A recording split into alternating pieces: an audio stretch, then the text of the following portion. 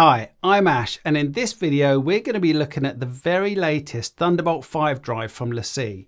It's the rugged SSD Pro 5. This has just come out at the time of recording this and I'm a little bit excited about it because this is one of the fastest drives, external drives, in the world at the moment.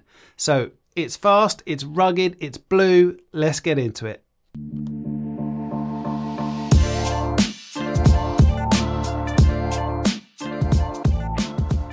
So if you haven't seen my previous video where I test nine of the latest SSD drives, then maybe go and see that one first because that one shows you everything from USB 4 drives to Thunderbolt 3 drives and everything in between.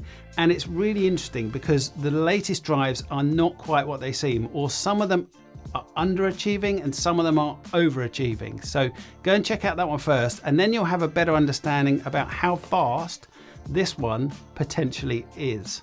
We're testing today on the very latest MacBook Pro, the M4 with the Pro chip, and I'm doing that because it has the very latest Thunderbolt 5 port. So hopefully we'll be able to get maximum speed out of this here drive in the test. We're going to do two tests. We're going to do the standard Blackmagic test, which will give you its fastest speeds of what it can do and hopefully reach its stated speeds and we're going to do a test which is a large file transfer test. What comes in the box is the drive itself, a very short Thunderbolt 5 cable, some instructions, and that's pretty much it. But that's good enough, that's all you need. Next, when you connect the drive, you see that it's formatted as exFAT.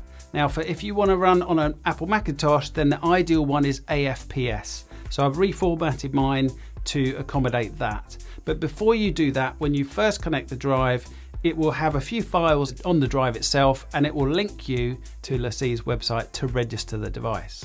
You register, you put in your name, you have to agree to some privacy statements, T's and C's. Then it asks you if you want to sync and protect your data, which I don't want at this stage. Then it gives you access to the Adobe Creative Cloud and a few, I think it's a month's free trial. And then it says, thanks for purchasing. That's it. you are in, it's registered, it's linked to your email address, and that's the process done. In this very first test, I'm going to check the internal speeds of my MacBook Pro's drives. So let's go ahead and see what that is. So we'll connect it to the desktop drive.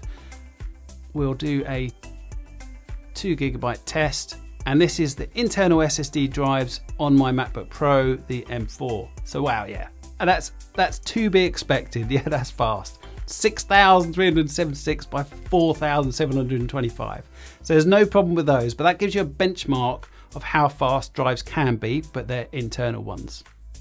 Okay, let's get on to the LaCie drive. Let's see how fast this thing is. Now, just before I click go on this one, just bear in mind that in the previous tests that I did, the fastest drive was the SanDisk G40 and that's a Thunderbolt 3 drive and it was giving around at about 3000 megabits a second. So that's currently what is kind of the fastest on the market or was.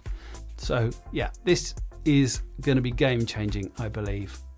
We're going to go to 5 gigabyte file and click go. Okay, normally it's a bit slower on the very first go.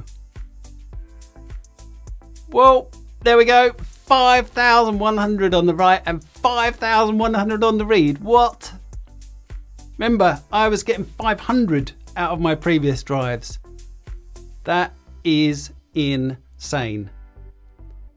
So that's that's exactly that's actually more than I thought it would be. So I'm really pleased for that. So let's now look at the large file transfer. So I'm now transferring 262 gigabyte file. And as you can see, that's going pretty fast. One gig, two gig, three gig, four gig.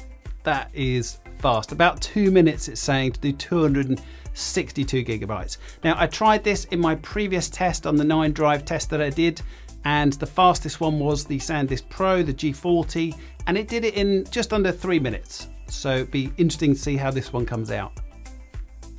And that's it guys, just under three minutes, two minutes 55 seconds. So yeah, that's fast. The large file transfer I thought would be a little bit faster than, than it is, but out of all the drives that I've tried, the SSD ones, that is as fast as they get. You can see here that the yeah 257 was the G40 last time, and that was by far the fastest of anything that I'd seen. Uh, this one is comparable; it's there or thereabouts within 10 to 15 seconds. But on the on the fast files, the one to two, the five gigabytes, yeah, this is going to be much much faster. So really pleased with with this. So now we know the speeds. What's the alternatives? There are not many out at the moment. You've got OWC, Sabrent. I'm sure SanDisk will come out with their own versions but LaCie are definitely one of the first to market and I've got to be honest I am very pleased with this. Uh, I think the prices are high for Thunderbolt 5 at the moment and they will come down over time. Will I keep it? Yes I'm gonna keep it. I always want the fastest always want the best and going from 500 megabits a second to 5000 uh, that's insane. So yeah I'm gonna keep it uh, what will I use it for? I'll be video editing like this and I'll be not transferring the files to my computer to start with. I'll just transfer them straight to the drive and that will allow me to then not use up the space on my Mac itself and I'll just be running everything live, editing live from my external new rugged SSD Pro 5. So if you want to buy one of these or any of the other ones, the links are in the description. I hope you like this video. Watch out for some more because there's some interesting ones coming up and I'll see you in the next one. Bye.